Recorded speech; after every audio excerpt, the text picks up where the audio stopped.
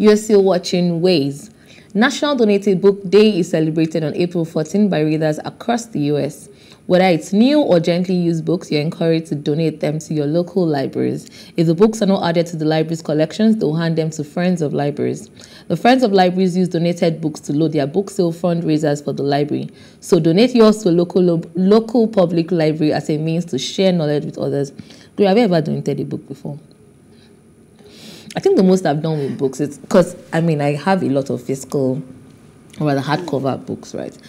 What I do sometimes is I give them out to people that I know. Okay, hmm, maybe if I hear that you've been wanting, you've been looking for a particular book, or even looking for a book that has to do with something that I have, I then share. But I've never done it. I don't think in Nigeria we really donate books to. So I think like, what I've done is um, maybe in secondary school when I outgrow a class, mm. I just give out my textbooks. Yeah. That's different from you sitting and saying, okay, let me give this book to charity or yes, something. Yes. I don't think I've done that before. I know, I know my, my mom used to do that. Our old books, she would take them to some of all those organizations, the uh, what they call them, motherless babies homes and and things like that.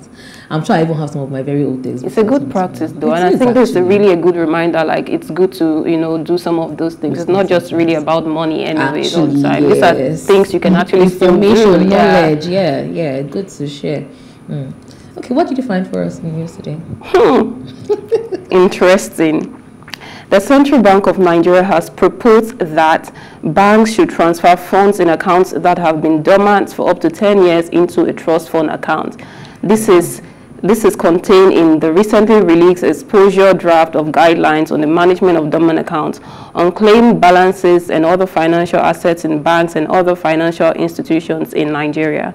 A circular accompanying the exposure draft stated that the guideline was in response to requests from the banks and other stakeholders for the CBN to clarify the procedures for the management of dormant and inactive account inactive accounts by banks in the country.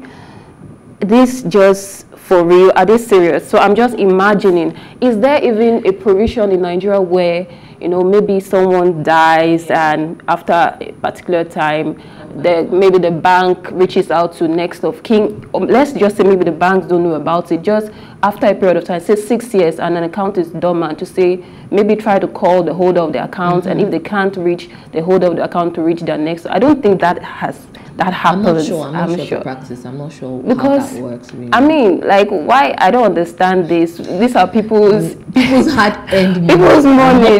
Don't you want to find out the reason why it's dormant in the first place before? No, but I think they will do that. So before this happens, I want to believe that there's there's a standard procedure for this. So before this happens, they'll probably try to find out. Okay have you tried to reach out to this person? I don't trust. I don't. I, I don't. When this person's next to this morning, they're talking about, it, they'll just trade. When they say um, they are, they'll take it to trust was that trust mm -hmm. fund. Mm -hmm. So. So what then happens? What happens in the trust? What okay, happens? so what happens to the money in the trust fund? That's, That's the question. okay, so my news uh, is one that has been making rounds uh, on social media today. The divorce drama um, between um, Hakimi, the footballer Hakimi, and the PSG footballer Hakimi and his wife.